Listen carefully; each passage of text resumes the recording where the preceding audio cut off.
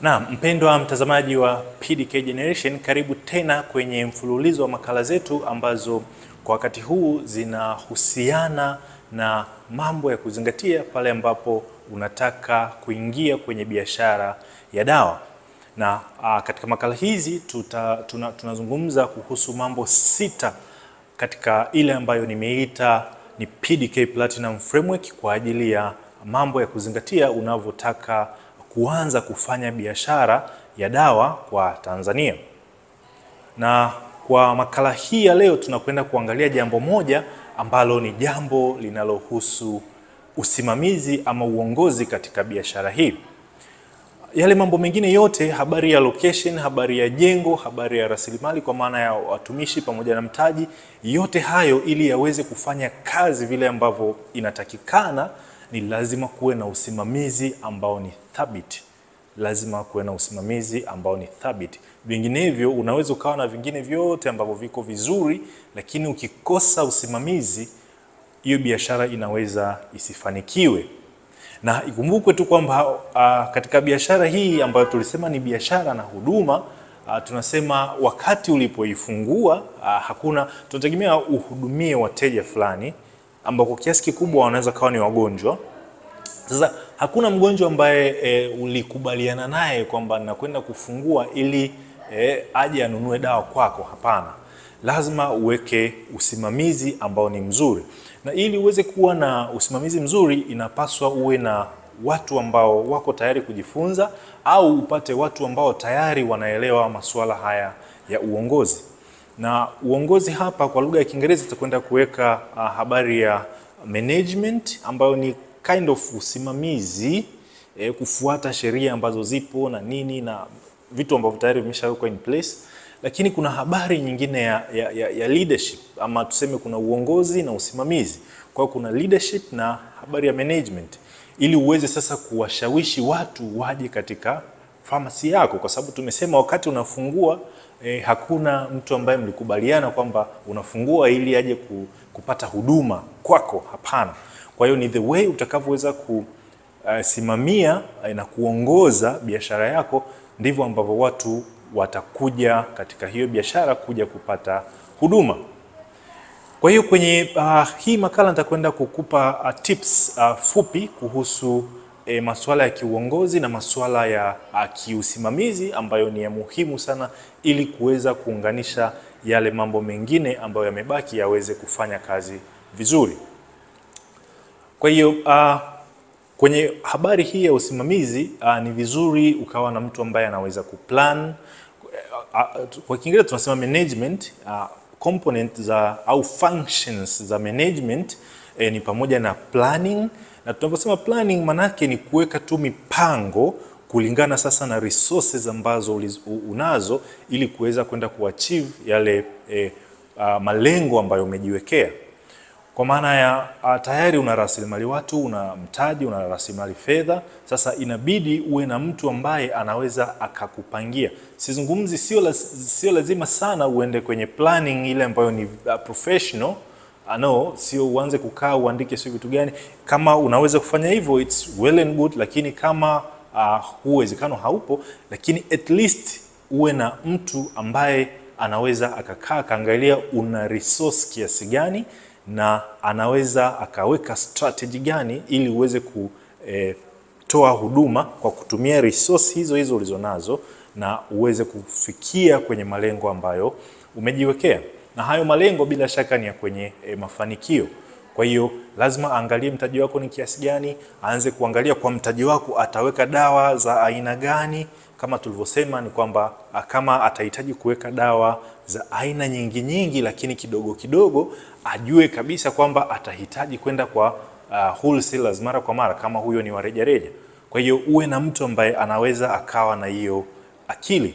Kama hana, anaweza kajifunza, au hata wewe mwenyewe haya mambo unaweza ukayajifunza. Eh, sio kwamba ni of course, kuna baadhi ya watu wanasema mtu anazaliwa nayo, lakini ni masuala ambayo unaweza ukajifunza vile vile.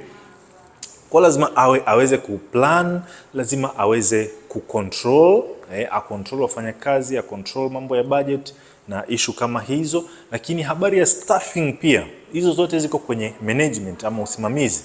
Kwamba aangalie ataweka wafanyakazi wangapi, au hata wewe mwenyewe uangalie utahitaji wafanyakazi wangapi, na hawa wafanyakazi wataingiaje kazini. Utakuwa unafanya 24 hours ama utakuwa unafanya uh, masaa kadhaa. Kwa hiyo shift zile utazipanga namna gani? Weekend utaifanyaje fanyaje? Hawa wafanyakazi wanahitaji kupumzika kwa kufuata sheria uh, za, uh, za, za kazi. Watahitaji kwa wiki wapate siku ya kupumzika. Kwa hiyo hiyo siku utaiwekaje na utaipishanisha namna gani ili wateja wasikose huduma, kwa sababu mteja akija kwenye biashara yako na ni biashara ya dawa akakuta umefunga kidogo, hiyo inakuwa ni e, changamoto hasa kama ni e, rejareja. E, kwa hiyo a, a, hata, hata, hata, wakati mwingine hata kuwa na a, ile hamu ya kuja kwenye duka lako kwa sababu anajua a, labda mara nyingi saa zingine wakawa umefunga, kwa hiyo hawezi kucheza hiyo patapotea. Kwa hiyo anaamua bora aende sehemu ambayo anajua watakuwa wamefungua. Kwa hiyo unatakiwa ucheze hapo pia katika usimamizi, ujue unapangaje ratiba na uh, watumishi ambao wako pale ili usiweze kumdisappoint huyu uh, mteja. Hayo ni mambo machache tu kwenye, lakini ya muhimu sana katika upande huu wa usimamizi ama management, lakini kuna component nyingine za uongozi ama leadership. Sasa hizo ni qualities ambazo wewe mwenyewe unatakiwa uwe nazo, au kama huna unazijifunza, au unamtafuta mtu ambaye ni mzuri, ni competent kwenye hilo eneo, atakusaidia sana katika kufanya mambo yaende kwenye biashara yako. Na kwenye masuala ya, ya, ya, ya, ya uongozi kwa lugha ya Kiingereza tunasema kuna mambo kadhaa ya kuzingatia. Kitu cha kwanza uh, ni scanning yule ukiachana hivi vya kusimamia sasa ambavyo hivyo vipo tu yani eh, havihitaji sana influence yako au nini, lakini kuna upande mwingine ambao ni vitu ambavyo vinahitaji eh, influence yako au ya ambayo umemweka pale kwa ajili ya kuongoza hiyo biashara yako. Kwa hiyo anatakiwa awe na uwezo wa kufanya uh, kwanza awe na uwezo wa kufanya scanning, yani kama uh, aweze kuangalia mazingira ya ndani ya famasi yako kwa maana ya uwezo ulionao na wafanyakazi na nini, aweze kuangalia pia na mazingira ya nje, ascan internal pamoja na external environment, aangalie mazingira yakoje, suppliers watakuwa kina nani, eh, labda kama kuna negotiation inabidi mfanye naye na, na, na hawa suppliers eh, mambo ya kiserikali yako namna gani, kwa sababu hii biashara tulisema uh, iko regulated na taasisi za serikali ambayo tutaongea katika Uh, makala zinazokuja. Kwa hiyo awe na uwezo wa kufanya hiyo scanning kwanza. Akishafanya scanning, anatakiwa sasa afocus. Akishafanya scanning, akaangalia mazingira ya ndani na nje yamekaa namna gani, aweze sasa kufocus. Kufocus maana yake ameshaangalia ndani una kiasi gani, nje kuna vitu gani vinaendelea huko. Tunataka kusema nje ni tunavyosema hiyo habari ya suppliers, tunasema habari ya wateja, mazingira ambayo umekaa, utakuwa na wateja wa aina gani, masuala ya kiserikali halafu atakuja sasa kwenye kufocus. Kwenye kufocus maana yake uh, kwa taasisi kubwa tunasema uwe na vision, uwe na mission, uwe na dira, yani unataka kwenda wapi. Hiyo pharmacy umeanzisha, unataka ufike wapi baada ya muda fulani.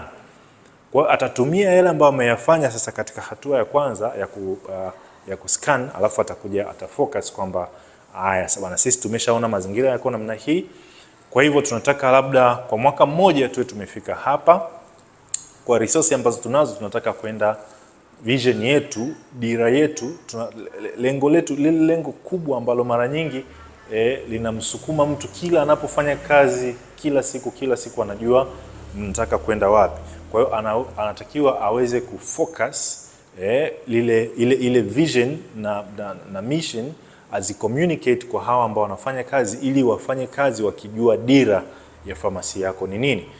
Eh, hata kama sio kubwa, hata kama ni pharmacy ndogo, lakini ajaribu kuweka basi hata malengo tu ya, ya, ya, ya, ya let's say nusu mwaka, baada ya mwaka mmoja, ili wafanyakazi wajue kabisa kwamba tunavyofanya kazi tuna aim kwenye kitu fulani, wafanye kazi na, na hii inawasaidia sana kuwa na motisha kuliko kuja tu eh, anafika ha, ha, hajui hata, hata, hata ethics, kwa sababu hapa ndo unaweka mpaka ethics, unaweka masuala haya ya, ki, ya, ya kinidhamu kwamba unavyomhudumia mteja inatakiwa tufanye hivi hivi hivi, unaweka principles za, za, za famasi yako.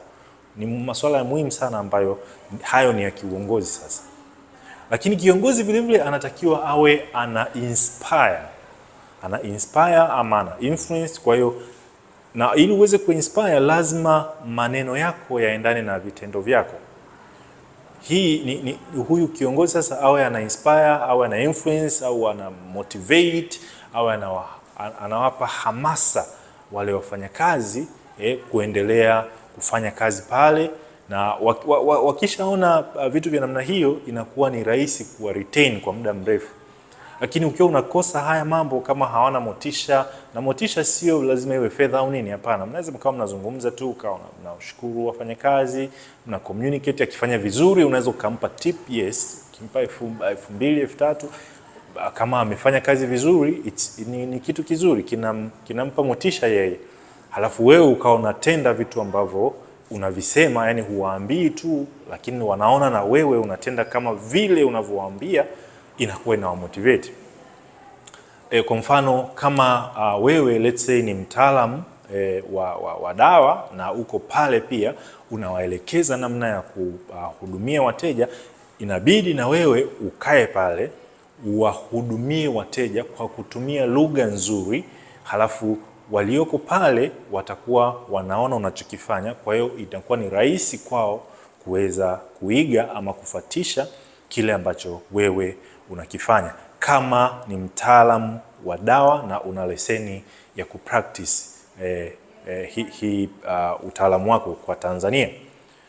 Hayo ni mambo ya msingi sana ya kuzingatia na across yote hayo yawe ya usimamizi kwa maana ya management ama yawe ya uongozi kwa maana ya uh, leadership, kuna ambayo ni cross cutting.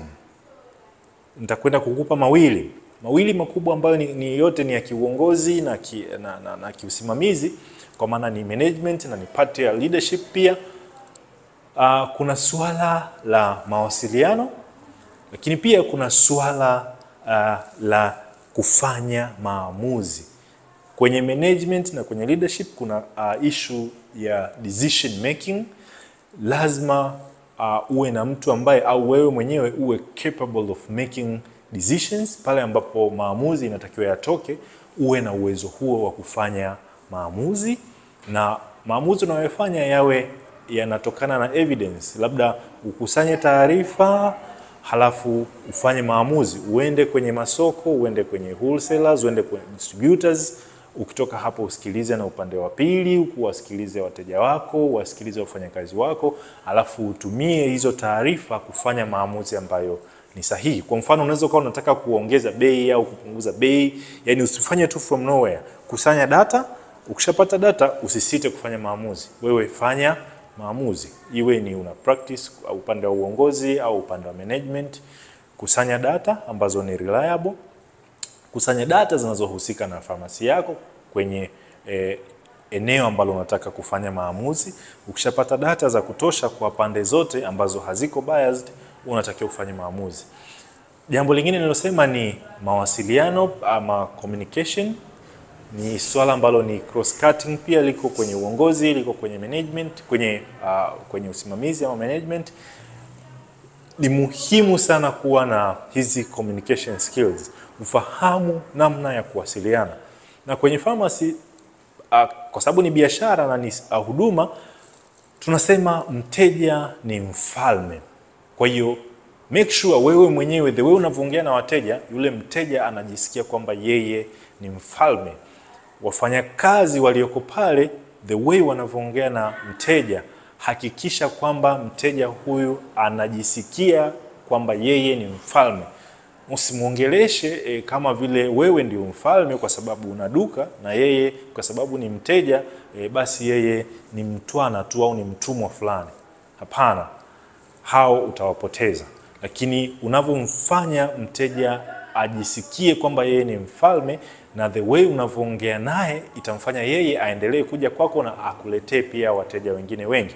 Na ukikosea, kama kuna mahali umekosea katika communication au nini, usisite kuomba uh, samahani.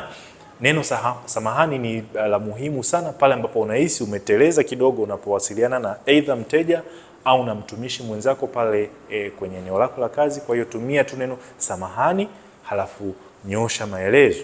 Ni muhimu sana pale ambapo unakuwa umekosea. Kwa hivyo na, na, na lugha zile za namna unavyo communicate na mteja, at the end tunasema kama ni kati ya mhudumu na mteja, ni vizuri ukazingatia sana kutumia neno asante. E, yule mteja ametoka huko alikotoka, amekuja mpaka kwenye biashara, ameacha biashara nyingine nyingi, amekuja kwenye biashara yako. Kwa hiyo pamoja na utaalamu wako, pamoja na nini, lakini kumbuka kusema asante kwa wateja wako. Hiyo ni muhimu sana, na kumbuka kutumia ush, kuwapa ushauri kuhusu zile product ambazo wanatumia, ambayo hii itakulazimu uweke watu ambao wanafahamu vizuri e, biashara hizi. Ndio maana Baraza la Famasi limeelekeza wataalamu wanaopaswa kuwa kwenye e, biashara hii ya pharmacy. Mtazamaji wa PDK Generation, e, mpaka hapo tumefika mwisho wa makala hii kwa siku ya leo. Aa, na katika makala zinazokuja tutaendelea kuzungumza mambo haya ya muhimu kuzingatia pale ambapo unataka kuingia kwenye e, biashara ya pharmacy. Yako mambo mengi kwenye kipengele cha uongozi na takwenda uh, kugusia tena kidogo katika makala ijayo, kabla hatujamalizia na ile habari ya udhibiti, ambayo hii sasa ni ya mamlaka za kiserikali ambazo zinasimamia biashara hii ili kuhakikisha kwamba inafanywa kwa kuzingatia maadili na kwa manufaa ya wananchi ama wale wateja ambao wanakuja kupata huduma pale katika biashara hiyo au katika duka hilo la dawa. Tukutane katika makala ijayo.